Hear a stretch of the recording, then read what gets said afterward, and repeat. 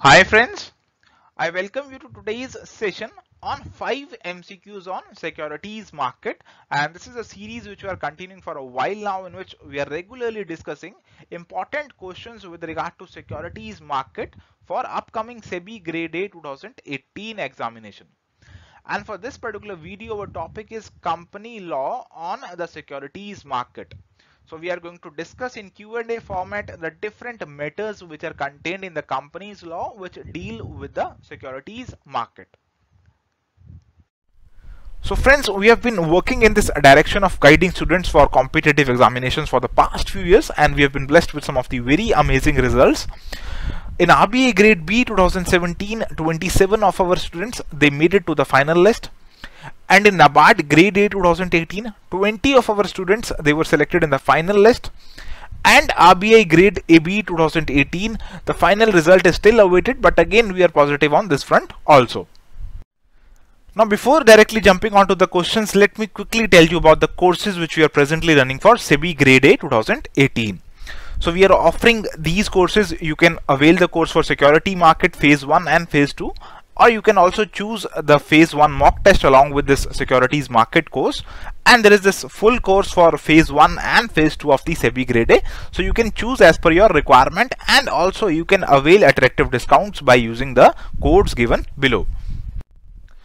Now in order to channelize your preparation in a better way and in order to prepare you for all the related competitive examinations in one go, we are also providing some combo courses for SEBI, RBI and NABARD. So you can choose the combo courses also if you are preparing for all these examinations. Again, you can avail discounts by using the discount codes mentioned here. So let's start with the first question. As per the provisions of Companies Act 2013, a private company may issue securities by way of rights issue or bonus issue through private placement to public through prospectus and we are given different permutations and combinations of the same 1 and 2, 2 and 3, 2 only, 1 only or none of the above. So we have to find out by which of the following means the private companies they can issue the securities. Now before moving on to what are the different ways by which the private companies can issue securities, let me quickly talk about the difference between the private and the public companies. Now the public companies, they are the popular ones which you and I they hear of often in the news. But the private companies, they are the ones which would have been set up by some of your relatives or maybe by you. So these are smaller companies and they are not the bigger ones. They are the companies which are just having a few members and they have a limited set of objective, limited set of area of operation in general. But the public company, they are having a very wide area of operation. They are having large number of members and they are the companies which you and I would easily recognize by just looking at the name of that particular company. So there are different characteristics which define these two companies that is private and public company. Now you can easily identify which one is a private and public because when you read the name of the company you would find that in the name of a private company in the end it would be written private limited. But in the case of a public company it would be only written limited. So in the private company, if we talk about the transfer of shares, it is restricted. So in a private company, the shares can be transferred only to a set of few persons. They cannot be freely transferred in the public. So you cannot uh, trade in the securities of the pri uh, private company in the market also but in the case of a public company you are you are free to deal with the securities in the manner you feel like and there is no restriction with regard to minimum paid up capital. Now this restriction earlier it was there uh, that private companies must have a 1 lakh paid up capital and similarly for public companies but now this restriction it has been eliminated. So no minimum public uh, minimum paid up capital is required to be kept by these companies. Now, as far the as far as number of members are concerned, now in private company there has to be a certain limit on the number of members which can be there. Now, minimum members for a private company is 2 and maximum member is 200. But in the case of a public company, minimum members they are 7 and there is no limit for any maximum member. And in the case of a private company there is less restrictions which are required to be complied with because the interest of public is not in general at stake for these companies. So they have to comply with a lesser number of regulations. So there is less statutory cost. But in the case of a public company because they involve the interest of the general public at large the statutory cost is a bit higher. Now, if you talk about the provisions of the Companies Act 2013 with regard to issue of securities, now section 23 deals with the same and the subsection 1 of this section 23 says that a public company may issue securities. So these are the different ways by which a public company can issue securities. So they include to public through prospectus. So it means a public offer. So a public company can come up with a public offer in which the securities can be offered to the public. Another is through private placement. So in this case, uh, a private placement can be used and this concept we have already discussed many a times in which the shares they are not offered to the public at last but to certain set of specified persons. Uh, and also there can be a rights issue or a bonus issue. So in a rights issue, the persons who are already holding the shares of the company, they are given the right that they can buy more shares. And in the case of a bonus issue, the persons who are already issue, holding the shares, they are given additional shares uh, free of cost. So this is a bonus issue. And in the case of a private company, there is only two sets of modes which are available. One is by way of rights issue or bonus issue and another one is through private placement. So they cannot issue securities to public through the issue of prospectus. So these are the only two ways through which they can issue the securities. So now we can easily answer this question that as per the provisions of Companies Act 2013, a private company may issue securities by either private placement or a rights issue or bonus issue. So the answer is going to be option number A that is 1 and 2. Now let's move to the next question. As per the provisions of Companies Act 2013, a prospectus contains certain statutory information and under this information a statement is also required to be made to the effect that nothing in this prospectus is contrary to the provisions of which of the following laws. So it, what this statement has to be made that nothing in this prospectus is contrary to these laws. So what are the laws which are covered here? Options are Companies Act 2013 itself, Securities Contract Regulation Act 1956, Securities and Exchange Board of India 1992.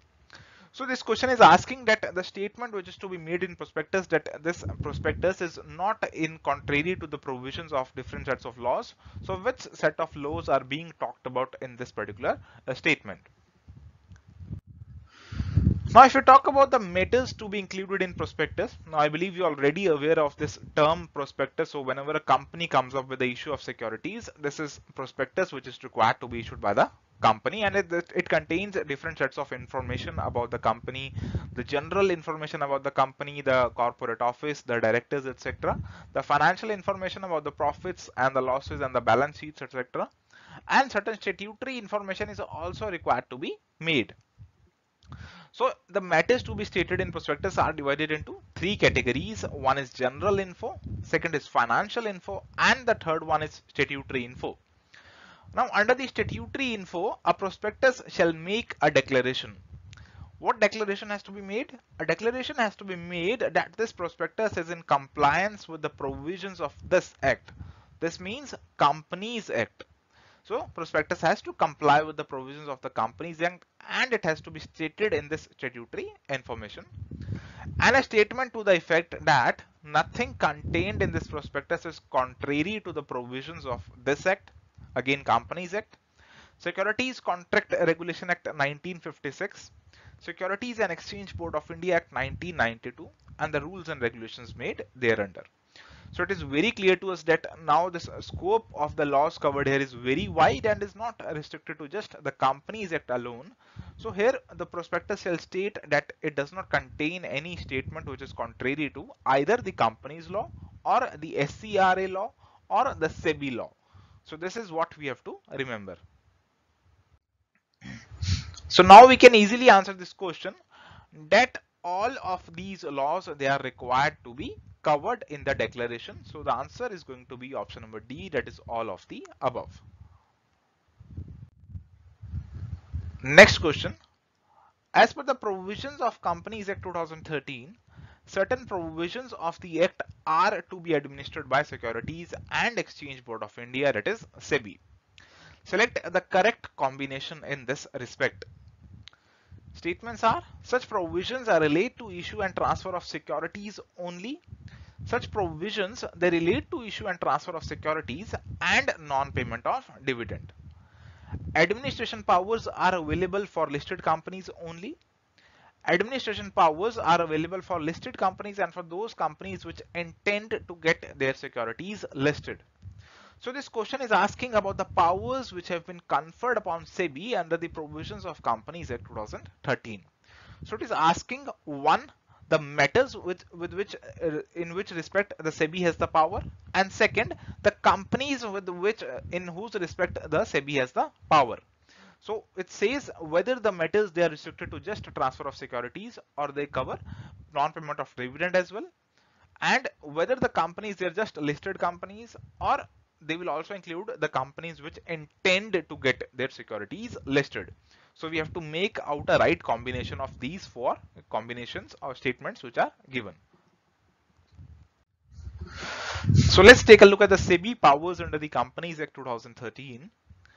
Now, as per the provisions in the Companies Act 2013, uh, which deal with the share capital and debentures and with the punishment for failure to distribute dividends, they shall in so far as they relate to. So it says that the provisions which are there in this company's law which deal with share capital and the debentures and with punishment for failure to distribute dividends. So if, if it deals with the shares, debentures and for non-payment of dividend in so far as it relates to these two matters. So if the provisions they relate to these two matters that is issue and transfer of securities and non-repayment of dividend. So if these two are the matters and this is in respect of listed companies or those companies which intend to get their securities listed on a recognized stock exchange in India except as provided under this act be administered by the Securities and Exchange Board by making regulations in this behalf. So the, these are the matters that is issue and transfer of securities and non-payment of dividend. And in this respect, the administration is to be done by SEBI. And in any other case, the provisions shall be administered by the central government. So now we can easily answer this question that we have to take a very wide view out of these powers of administration with SEBI and the correct option is going to be which covers both the cases that is securities and dividend and which covers both the companies that is listed and those intending to list. So answer is going to be option number D that is 2 and 4.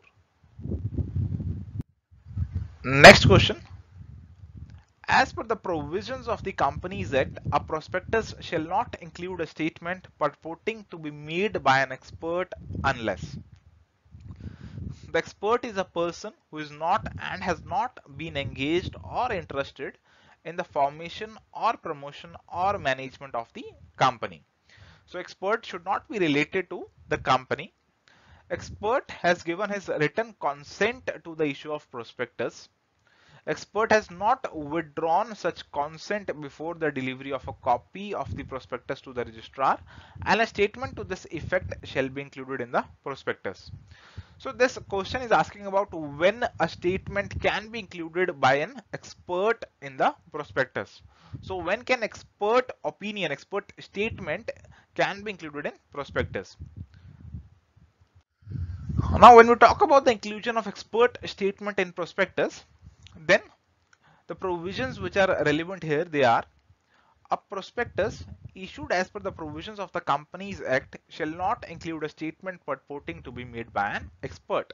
So the general rule is no expert statement is to be there unless now it can be there if The expert is a person who is not or has not been engaged or interested in the formation or promotion of the management of the company. So expert should not be related to the management of the company. So if, if experts is a, a, chartered accountant or any certified financial planner, then he he or she should not be related to the company. He or she should not be engaged with the company in any kind of manner if he is uh, making an opinion or statement on the this prospectus if the expert has given his written consent to the issue of security so this is also important a written consent. And this written consent is not to be withdrawn before the delivery of a copy to the registrar. And a statement has also be to be included that this request has not been withdrawn by the expert. So you can take the expert's statement but it can only be taken eh, only in case of certain specified cases so now we can easily answer this question that as per the provisions of Companies Act, a prospectus shall not include a statement purporting to be made by an expert unless the person is not related. Uh, the person has given written consent which has not been withdrawn before delivering copy of prospectus to registrar. So the correct answer is going to be option number D that is 1, 2 and 3 all are correct. Now next question as per the provision of Companies Act 2013, no prospectus shall be issued by the company unless on or before the dates of its publication, its signed copy has been delivered to the registrar for registration. So if you have to issue prospectus, first of all, you should deliver this prospectus to registrar of companies. Within how many days from the said delivery, that is delivery to registrar, the prospectus is to be issued by the company. Options are 30 days, 60 days, 90 days, 120 days or none of the above. So if you talk about the delivery of prospectus to registrar and subsequent issue of securities, then no prospectus shall be issued by or on behalf of the company or in relation to the company. So no prospectus is to be issued unless on or before the date of its publication there has been delivered to the registrar. So first of all we have to deliver this uh, uh, copy to the registrar of companies for registration.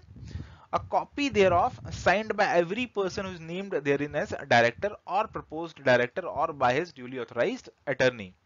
So this prospectus has to be first filed with the registrar of companies and this uh, filing has to be a copy which is to be certified or signed by all the directors or would-be directors of the company. And with regard to the time period of issuance of prospectus, the company's law states that no prospectus shall be valid if it is issued more than 90 days more than 90 days after the date on which a copy thereof is delivered to the registrar. So after you have delivered the copy, you have 90 days to issue the prospectus. And if you do not use this 90 days judicial, judiciously, then you cannot come up with this issue of prospectus. So now we can easily answer this question that the prospectus is to be issued within 90 days of the delivery to the registrar. So the answer is going to be option number C here. So friends, this was all about our discussion on some of the very important MCQs pertaining to the securities market. And if you have any query or you wish to know more about our courses, you can visit our website which is www.edutap.co.in or you can drop us a mail at hello at edutap.co.in or you can call us at 8146207241. So friends, if you found this video useful, please like the same, share it with your friends and subscribe to our YouTube channel. And if you wish to get regular updates on Telegram, you can subscribe to our Telegram channel, the link of which is given here as well as in the description to this particular video. And subscribing to our Telegram channel is also going to help you fetch the PDFs of all the discussions which we are doing on YouTube. So thank you friends.